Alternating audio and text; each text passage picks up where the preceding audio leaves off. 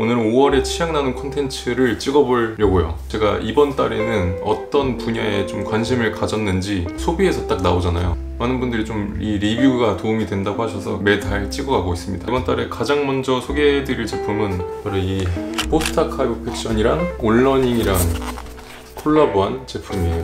러닝을 하다 보니까 생각보다 여행이나 출장이 되게 잦은 편인데 그럴 때마다 매일 러닝화를 챙기고 다니는 게 생각보다 조금 번거로운 일이더라고요. 최근에도 원주를 다녔는데 그때도 그냥 이 제품을 신고 갔어요. 그리고 아침에 또 이 제품을 러닝도 했고 얘는 또 daily화로도 신기에 적당한 디자인이고 쿠션감이 굉장히 좋아서 정말 만족하면서 신고 있는 제품입니다. 온러닝 클라우드 몬스터 2가 스테디셀러로 러너들한테 사랑받는 제품 중에 하나인데 그 제품의 기능적인 부분 을 가져가면서 이런 갑피, 외적인 부분은 포스트 아카이브 팩션의 멋을 디자인해서 일상에서도 신기 굉장히 좋은 제품이거든요. 이제 other 컬러, 화이트 컬러도 구매를 할 생각입니다. 제가 지난번에 소개해드렸던 제품 중에 이 온러닝 제품이 있는데 로드 러닝용으로 그렇게 적합한 제품은 아니라고 하더라고요. 그래도 여행 갔을 때 가볍게 조깅용으로 뛸 때는 나쁘지 않았어요. daily로 신고 있고 그리고 온러닝 제품을 보시면 로고를 좀 크게 박는 경향이 있어요. 있어요. 저는 이렇게 잘 보이지 않게 로고를 좀 숨겨놓은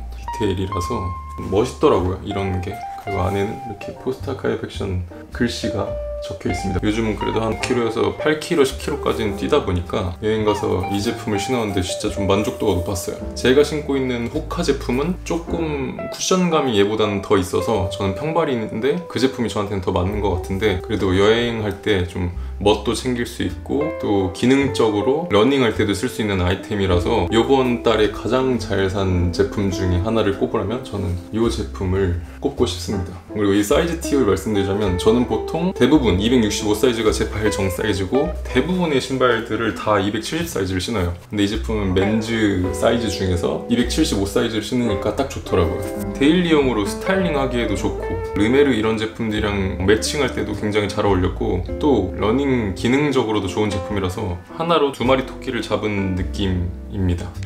두 번째는 새티스파이라는 브랜드의 아이템들을 제가 이번에 좀 몇 개 구매를 했어요.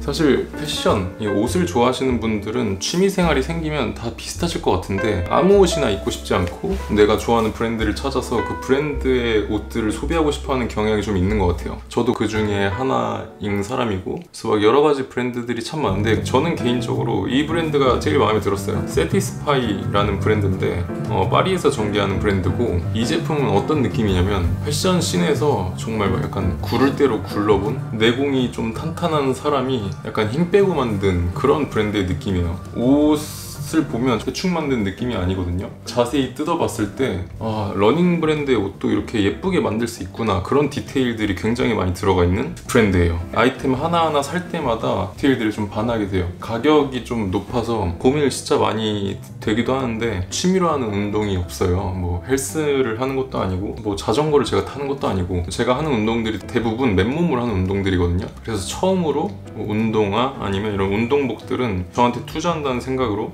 또 좋아하는 브랜드의 옷을 사는 건 되게 기쁜 일이니까 하나둘씩 아이템을 구매를 하고 있어요. 내공을 갖고 있는 분이고 또 실제로 러닝을 하는 분이셔서 자기가 좀 이런 옷을 입고 뛰고 싶다. 그런 게 디자인에 되게 많이 반영이 된 것 같아요. 그래서 이런 걸 보면 이 주머니 부분에 분에도 이런 것들이 달려 있어요.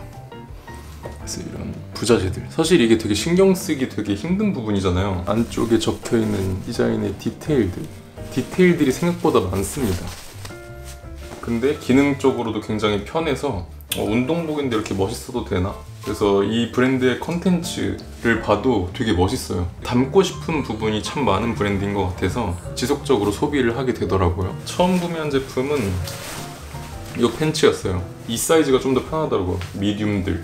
얘는 안에 레깅스가 들어가 있는 제품입니다. 근데 정말 편해서 잘 쓰고 있습니다. 이런 디테일도 재밌어요. 여기에 세티스파이 로고가 있는데 처음에 올 때는 이렇게 옵니다. 제가 오늘 처음 입은 옷인데 이렇게 와서 여기를 택을 떼는 거예요. 근데 아까워서 얘는 아직 못 떼고 있습니다.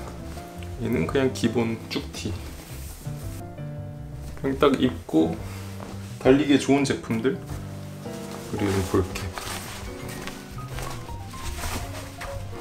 되게 하나하나 뜯어봤을 때 와, 얘네는 러닝 기능성에만 초점을 맞춘 게 아니라 디자인을 되게 멋있게 뽑으려는 노력을 많이 하는구나 라는 생각이 드는 브랜드예요. 이번 달에 구매한 제품 중에 1번, 2번이 둘 다 러닝 관련된 제품이네요 러닝이 유행이 된 것에 대해서 좀 부정적으로 말씀하시는 분들도 계시고 우리나라가 유행에 좀 민감한 건 사실이지만 사실 이거에 좀 좋은 쪽을 저는 바라보려고 하는 편이에요. 러닝이라는 게 되게 저한테도 와 닿았고 제대로 한번 취미로 한번 해보자. 사실 그렇게 시작이 되잖아요. 어떤 관심사들이. 예를 들어 자전거도 그렇고 클라이밍도 그렇고 아니면 하이킹도 그렇고. 사실 이런 것들이 좀 시대적 배경 예를 들어서 경기가 좀 좋을 때는 뭐 테니스나 아니면 골프 경기적인 흐름을 탄다고 생각해요. 그런 것들에 비해서 조금 더 적은 돈으로 할 수 있는 그런 운동이 뭐 클라이밍이나 이런 러닝들이잖아요. 그래서 저는 그런 흐름이 오는 거에 대해서 그렇게 부정적인 생각은 없어요. 이걸 그냥 단순히 돈으로만 접근하는 그런 것들이 이 문화를 조금 해칠 수 있다고 생각을 할 뿐이지 다만 그냥 저는 모든 걸 좀 긍정적으로 바라보자는 주의거든요. 달리 유행이 됐다 해서 막 이걸로 왈가왈부하면서 싸울 일도 아닌 것 같고 그냥 각자 이 트렌드나 이런 것들이 왔을 때 나한테 어떻게 좀 좋은 쪽으로 활용할 수 있을까에 대해서만 집중을 하는 편이에요 그래서 저는 이걸 통해서 또 crew가 생겼고 만날 수 없었던 인연이 생겼고 그 인연을 통해서 이 crew로 좀 다양한 활동들을 하려고 하다 보니까 되게 저한테 활력을 주거든요 이런 일들이. 그래서 저는 오히려 이런 유행이 온 게 되게 반갑다. Satisfy 이런 러닝 브랜드도 알게 되고 좀 구매를 해보게 되면서 브랜드에 대해서 좀 더 알아가게 되고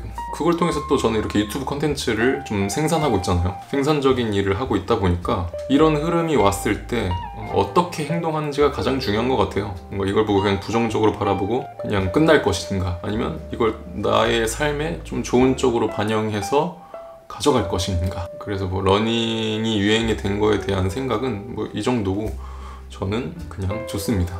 좋아하는 사람들이랑 이 뛰는 행위가 되게 행복해요 또 이걸 저는 패션이라는 제 컨텐츠를 통해서 또 풀어낼 수도 있어서 너무 좋고 또 이걸 통해서 다양한 기회가 창출될 수도 있다고 생각하기 때문에 굉장히 좋습니다. 제가 이렇게 러닝 제품들을 소개할 날이 올 거라고 저는 상상도 못했거든요.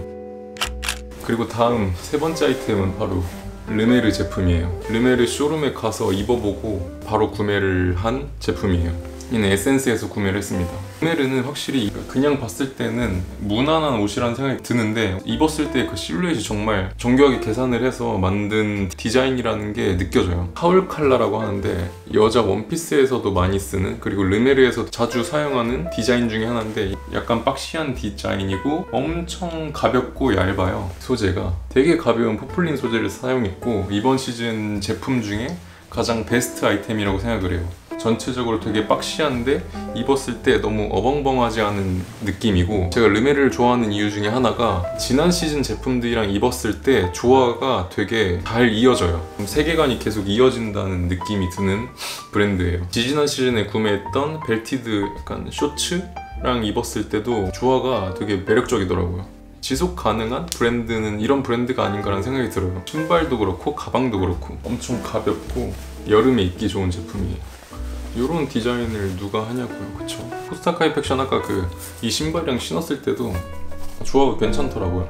세 번째로 구매한 아이템은 이 cowl 칼라가 상당히 매력적인 티셔츠입니다. 유스 악세사리인데 이번 유스 악세사리가 굉장히 잘 나왔어요. 이제 여름이다 보니까 악세사리를 좀 활용할 시즌이 왔잖아요. 요즘 가장 많이 착용하는 목걸이가 바로 이 목걸이에요. 요즘 저는 이 제품을 굉장히 잘 착용하고 있어요 국내 브랜드 중에서는 유스도 진짜 매 시즌 되게 잘 입는 브랜드예요. 근데 이 액세서리까지 영역을 넓혀가고 있는데 감도 있게 잘 만들어 주시니까 감사하죠 아주. 오늘 영상도 봐주셔서 감사하고 저는 더 좋은 영상으로 찾아오도록 할게요. 아 이거는 이제 This is Never That이랑 Grateful Dead 콜라보한 티셔츠인데 이건 보내주셨어요. 디네댓에서 매 시즌 콜라보하면 보내주시는데 이거 진짜 이쁩니다. 가격도 괜찮고 그리고 안경은 프로젝트 프로덕트. 이 곰탱이가 아주 귀엽습니다. 그리고 이게 목걸이. 얘는 좀 크게 입는 게 이쁠 것 같아서 X-large 사이즈